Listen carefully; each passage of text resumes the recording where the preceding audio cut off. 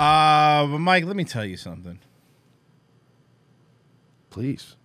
I like being told things. This this episode. I was thinking of a joke from earlier. We do say some funny stuff on this show.